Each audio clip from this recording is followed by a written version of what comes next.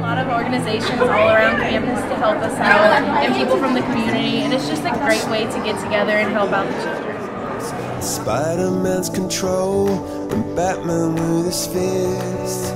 And clearly I don't see myself upon that list But she said, where'd you wanna go?